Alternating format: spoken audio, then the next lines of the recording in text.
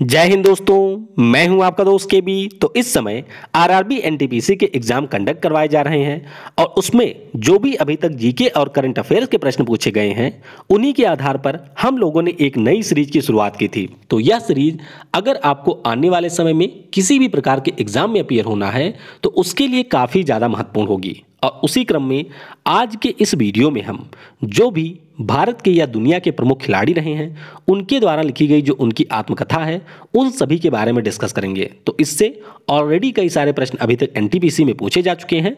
तो पूरे वीडियो को बहुत ही ध्यान से देखिएगा और वीडियो अगर आपको पसंद आता है तो इसे लाइक करने के साथ अपने सभी दोस्तों से शेयर ज़रूर करिएगा। तो चलिए इस वीडियो की हम शुरुआत करते हैं।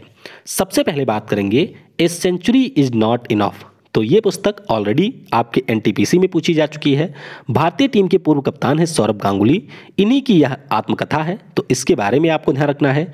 और सौरभ गांगुली की बात करते हैं तो वर्तमान में हमारे यहाँ पर जो क्रिकेट को कंट्रोल करने वाली संस्था है, यानी कि जिसका नाम है बीसीसीआई तो उसके भी कप्तान है सौरभ गांगुली। तो याद रखिएगा, सौरभ गांगुली के द्वारा लिखी गई पुस्तक है a century is not enough फिर अगली पुस्तक है 281 एंड बियॉन्ड तो ऑस्ट्रेलिया के खिलाफ एक टेस्ट मैच हुआ था, जिसमें दो सौ इक्यासी रनों की पारी खेली थी बीवीएस लक्ष्मण ने, और इसी के आधार पर इन्होंने अपनी आत्मकथा लिखी, जिसका नाम है 281 एंड बियॉन्ड तो ध्यान रखिएगा बीबीएस लक्ष्मण, इन्हें हम लोग बेरी बेरी स्पेशल लक्ष्मण के नाम से भी जानते हैं। तो आर कौशिक के साथ में मिलकर के इन्होंने अपनी आत्मकथा लिखी थी। बहुत ही ज़्यादा महत्वपूर्ण पुस्तक है। अगली पुस्तक है स्टेट फ्रॉम द हार्ट कौन सी है? स्टेट फ्रॉम द हर्ट तो स्टेट फ्रॉम द हर्ट पुस्तक की बात करते हैं। तो ये कपिल देव जी की आत्मकथा है। किसकी है?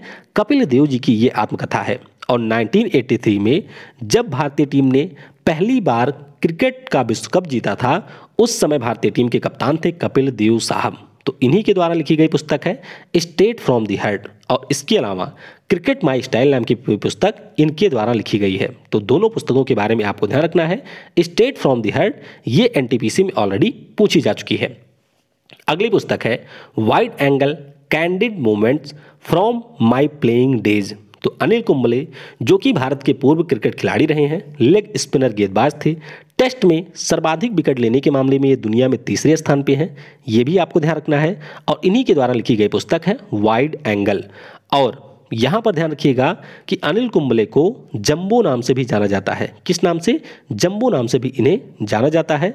और इन्हीं के द्वारा लिखी गई पुस्तक है वाइड एंगल अगली पुस्तक है प्लेइंग इट माई वे तो ये पुस्तक काफ़ी ज़्यादा महत्वपूर्ण है, क्योंकि मास्टर ब्लास्टर सचिन तेंदुलकर के जीवन पर आधारित है, यानी कि सचिन तेंदुलकर के द्वारा लिखी गई ये पुस्तक है प्लेइंग इट माई वे तो कई सारे एग्ज़ाम में ऑलरेडी ये पुस्तक पूछी जा चुकी है तो इसके बारे में भी आपको ध्यान रखना है कि मास्टर ब्लास्टर सचिन तेंदुलकर के द्वारा अपनी लिखी गई आत्मकथा है, जिसका नाम है प्लेइंग इट माई वे फिर हम बात करते हैं सनी डेज़ की। तो सनी डेज़ इनका नाम है सुनील गावस्कर। तो भारत के महान टेस्ट खिलाड़ी रहे हैं सुनील गावस्कर और इन्हीं के द्वारा अपनी आत्मकथा लिखी गई है सनी डेज़ नाम की पुस्तक से। तो वैसे भी इन्हें सनी पाजी कहा जाता था और इन्हें लिटिल मास्टर भी कहा जाता था।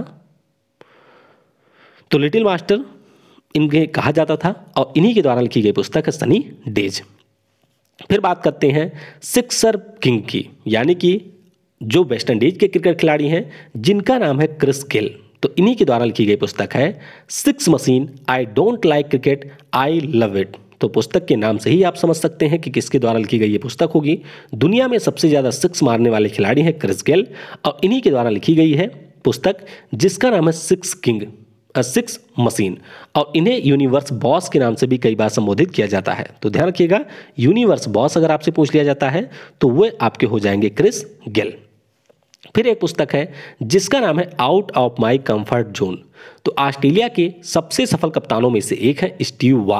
और स्टीव वा के द्वारा लिखी गई पुस्तक है out of my comfort zone तो ध्यान रखिएगा, ये भी एक क्रिकेटर है। फिर हम बात करते हैं लाइन एंड स्ट्रेंथ नाम की पुस्तक की। तो ये जो पुस्तक है, इसे लिखा है ग्लेन मैग्राथ ने। ग्लेन मैग्राथ का नाम क्रिकेट प्रेमियों को ज़रूर पता होगा। ये भी ऑस्ट्रेलिया के एक महान तेज गेंदबाज थे और इन्हीं के द्वारा अपनी आत्मकथा लिखी गई है लाइन एंड स्ट्रेंथ नाम के पुस्तक के रूप में। अगली पुस्तक है इम्परफेक्ट तो भारत के पूर्व खिलाड़ी रहे संजय मांजरेकर। वर्तमान में कमेंटेटर की भूमिका में आप इनको देखते होंगे और इन्हीं के द्वारा लिखी गई पुस्तक है इम परफेक्ट तो ये पुस्तक भी काफ़ी ज़्यादा महत्वपूर्ण है। अगली हमारी बुक है गेम चेंजर तो अभी हाल ही के दिनों में ऑस्ट्रेलिया पाकिस्तान के जो क्रिकेट खिलाड़ी हैं, साहिद अफरीदी। तो बूम बूम अफरीदी के नाम से भी इनको जाना जाता है। ऑलराउंडर खिलाड़ी रहे हैं पाकिस्तान के, और इन्हीं के द्वारा वजाहत एस खान के साथ में मिलकर के अपनी आत्मकथा लिखी गई है। तो नाम इसका है गेम चेंजर। तो इसके बारे में भी आप थोड़ा सा ध्यान रखेंगे। अगली पुस्तक है कंट्रोवर्सियली योर्स। क्या है? Controversially yours. और ये जो पुस्तक है, इसे लिखा है रावलपिंडी एक्सप्रेस शोएब अख्तर ने। तो पाकिस्तान के ये पूर्व गेंदबाज रह चुके हैं शोएब अख्तर, और इन्हीं के द्वारा लिखी गई पुस्तक है, कंट्रोवर्सली योर्स। तो इस समय ये यूट्यूबर की भूमिका में भी आपको यूट्यूब के ऊपर दिखेंगे। अगली पुस्तक है, नो स्पिन। तो ध्यान रखिएगा, नो स्पिन नाम की जो पुस्तक है, वह ऑस्ट्रेलिया के तेज स्पिन गेंदबाज, लेग स्पिन गेंदबाज थे सेन वार्न। इनके द्वारा लिखी गई है। किसके द्वारा? सेन वार्न के द्वारा लिखी गई ये पुस्तक है। और जब सेन वार्न का नाम आए तो आपको ध्यान रखना है कि टेस्ट क्रिकेट में मुथैया मुरलीधरन के बाद में सबसे ज़्यादा विकेट लेने के मामले में दूसरे स्थान पे है सेन वार्न। कौन है? दूसरे स्थान पे है सेन वार्न और तीसरे स्थान पे आते हैं अनिल कुंबले। तो इनका नाम ध्यान रखना है, सेन वार्न का। नो स्पिन नाम की पुस्तक इन्हीं के द्वारा लिखी गई है। अगली पुस्तक है, beating the field of Brian. क्या है? Beating the field of Brian. तो ये जो पुस्तक है, इसे लिखा है वेस्ट इंडीज के पूर्व टेस्ट क्रिकेट खिलाड़ी। इनका नाम है ब्रायन लारा। और आपको इनके बारे में ध्यान रखना है कि अभी तक जो अंतर्राष्ट्रीय खेल होते हैं, उनमें जो हाईएस्ट स्कोर का रिकॉर्ड है, यानी कि 400 रन नॉट आउट वह रिकॉर्ड है ब्रायन लारा के नाम पर। तो अकेले इन्होंने टेस्ट मैच में 400 रनों की पारी खेली थी, जो कि अभी भी एक रिकॉर्ड है। तो इन्हीं के द्वारा लिखी गई पुस्तक है beating the field of Brian अगली पुस्तक है at the close of play क्या है? At the close of play the number one ये पुस्तक रही थी, एक समय ये बेस्ट सेलिंग रही थी, और इसे लिखा है रिकी पोंटिंग ने। किसे? रिकी पोंटिंग ये भी ऑस्ट्रेलिया के सफल कप्तानों में से एक थे, और इन्हीं के द्वारा लिखी गई पुस्तक है at the close of play अगली पुस्तक है a shot at history my obsessive journey to Olympic gold and beyond क्या है? A shot at history my obsessive journey to Olympic gold and beyond तो ये पुस्तक लिखी है भारत के एकमात्र ओलंपिक में स्वर्ण पदक विजेता अभिनव बिंद्रा ने। तो अभिनव बिंद्रा का नाम आपको ज़रूर ध्यान रखना है, क्योंकि आज तक के ओलंपिक खेलों के इतिहास में एकमात्र भारतीय खिलाड़ी हैं अभिनव बिंद्रा, जिन्होंने इंडिविजुअल कैटेगरी में भारत के लिए स्वर्ण पदक जीता है। तो ये आपको ध्यान रखना है। बहुत ही ज़्यादा महत्वपूर्ण ये खिलाड़ी हैं और इनकी किताब भी उतनी ज़्यादा महत्वपूर्ण है। अच्छा कब इन्होंने जीता था? तो 2008 में। चीन की राजधानी जो बीजिंग में ओलंपिक खेल हुए थे, वहाँ पर इन्होंने जीता था स्वर्ण पदक। तो ये आपको ध्यान रखना है। अगली पुस्तक है एस अगेंस्ट ऑड्स तो ये लिखा है ब्यूटीफुल टेनिस खिलाड़ी सानिया मिर्ज़ा ने, किसने? सानिया मिर्ज़ा के द्वारा लिखी गई पुस्तक है एज अगेंस्ट ऑड्स तो ध्यान रखिएगा, और सानिया मिर्ज़ा की बात करते हैं तो पिछले साल इनको एक अवार्ड भी मिला था, जो कि भारत में जीतने वाली ये पहली खिलाड़ी बनी थी, और अवार्ड का नाम था फेड कप हर्ट अवार्ड क्या नाम था? फेड कप हर्ट अवार्ड तो ध्यान रखिएगा, सानिया मिर्ज़ा, जो कि टेनिस की खिलाड़ी हैं, तेलंगाना राज्य की, इन्हीं के द्वारा लिखी गई पुस्तक है एज अगेंस्ट ऑड्स अगली पुस्तक है, the race of my life. क्या है? The race of my life. तो अभी मैंने सुबह ही आपको बताया था, कॉमनवेल्थ और एशियन गेम्स वाले वीडियो में, कि भारत के लिए पहली बार जो हमारे एशियन गेम्स होते हैं, या फिर जो हमारे कॉमनवेल्थ गेम्स थे, उसमें इन्होंने 1958 में जीता था स्वर्ण पदक। तो ये आपको ध्यान रखना है। मिल्खा सिंह जिन्हें हम लोग फ्लाइंग सिख के नाम से भी जानते हैं, इन्हीं के द्वारा अपनी आत्मकथा लिखी गई थी the race of my life तो ये एक रनर थे और इन्हीं के द्वारा लिखी गई पुस्तक है the race of my life अगली पुस्तक है प्लेइंग टू बिन क्या है? प्लेइंग टू विन तो साइना नेहवाल, जो कि भारत की एक प्रमुख बैडमिंटन खिलाड़ी रही हैं, इन्हीं के द्वारा लिखी गई पुस्तक है प्लेइंग टू विन तो इस पुस्तक के बारे में भी आपको ध्यान रखना है, काफ़ी ज़्यादा महत्वपूर्ण पुस्तक है। अगली पुस्तक का नाम है mind master winning lesson from a champion's life. क्या है?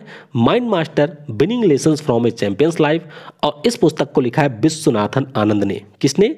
विश्वनाथन आनंद ने, जो कि चैंपियन खिलाड़ी रहे हैं, चेस के, शतरंज के ये खिलाड़ी रहे हैं, और सबसे पहला जो खेल रत्न पुरस्कार दिया गया था, वह भी दिया गया था विश्वनाथन आनंद को, और भारत के पहले ग्रैंड मास्टर भी रहे हैं विश्वनाथन आनंद। तो इसीलिए यह पुस्तक भी काफ़ी ज़्यादा महत्वपूर्ण है। पुस्तक का नाम है माइंड मास्टर और इसे लिखा विश्वनाथन आनंद ने। अगली पुस्तक का नाम है अनब्रेकेबल क्या नाम है? अनब्रेकेबल नाम की पुस्तक है। और इसके बारे में आपको ध्यान रखना है कि मैरी कॉम, जो कि मुक्केबाज है मणिपुर राज्य की, इनको मिला है पिछले साल पद्म विभूषण पुरस्कार और इन्हीं के द्वारा अपनी आत्मकथा लिखी गई है अनब्रेकेबल के नाम से। किस नाम से? अनब्रेकेबल के नाम से। तो ये भी काफ़ी ज़्यादा महत्वपूर्ण है और कई बार ऑलरेडी ये परीक्षाओं में पूछी जा चुकी है। अगली पुस्तक का नाम है shuttling to the top the story of P V Sindhu तो गोल्डन गर्ल के नाम से मशहूर है पी बी सिंधु और ये खिलाड़ी रही हैं तेलंगाना राज्य की, यानी कि है भी इस समय, और इन्हीं की जो जीवनी है, वह लिखा है बी कृष्णा स्वामी ने। किसने? बी कृष्णा स्वामी जो कि एक खेल पत्रकार हैं। उन्हीं के द्वारा लिखी गई किताब है, shuttling to the top, the story of P V Sindhu. तो ये भी काफ़ी ज़्यादा महत्वपूर्ण बुक है। अगली पुस्तक है, golden girl, the autobiography of PT Usha तो पीटी उषा जो कि एक हमारे यहाँ के रनर हैं, केरल राज्य की, रही थी ये रनर, और इन्हीं के द्वारा लिखी गई पुस्तक है, गोल्डन गर्ल। तो इस पुस्तक के बारे में ध्यान रखिएगा। वैसे पीटी उषा को भी हम लोग गोल्डन गर्ल के नाम से जानते हैं और जो तेलंगाना के खिलाड़ी हैं, जिनका नाम है, अभी मैंने आपको बताया पीवी सिंधु, इनको भी हम लोग गोल्डन गर्ल के नाम से जानते हैं। लेकिन पीटी उषा को हम एक और नाम से जानते हैं और वह नाम है पायोली एक्सप्रेस। तो पायोली एक्सप्रेस अगर आपसे पूछा जाता है तो ये आपका सही उत्तर होगा पीटी उषा और इन्हीं के द्वारा लिखी गई पुस्तक है गोल्डन गर्ल अगली पुस्तक है the greatest my own story. तो ये जो पुस्तक है, इसे लिखा है मोहम्मद अली ने। मोहम्मद अली, जो कि बहुत ही ज़्यादा प्रसिद्ध मुक्केबाज रहे थे, इन्हीं के द्वारा लिखी गई पुस्तक है the greatest my own story. तो इस पुस्तक के बारे में भी आपको ध्यान रखना है। फिर एक महान खिलाड़ी रहे थे फुटबॉल के, पेले इनका नाम था। तो इन्हीं के द्वारा लिखी गई पुस्तक है वाई सॉकर मैटर्स। सॉकर हम लोग फुटबॉल को कहते हैं, अमेरिका देश में। और ये एक खिलाड़ी थे पेले, जिनके द्वारा लिखी गई पुस्तक थी वाई सॉकर मैटर्स तो इस पुस्तक के बारे में भी आप ध्यान रखेंगे। तो इस तरीके से जो भी महत्वपूर्ण पुस्तकें थी, उनके बारे में हमने डिस्कस कर लिया है। युवराज सिंह की एक बुक थी, जिससे अभी एनटीपीसी में प्रश्न पूछा गया था। तो चलिए नीचे कमेंट में जरा उस पुस्तक का नाम बता दीजिएगा। इससे थोड़ा सा पता चलता है कि किन लोगों ने लास्ट तक वीडियो को देखा है। तो नीचे कमेंट में बताइएगा कि उस पुस्तक का नाम क्या है। थैंक्स फॉर वॉचिंग जय हिंद, जय भारत। और सबसे ज़रूरी, पढ़ेगा भारत। तो बढ़ेगा भारत।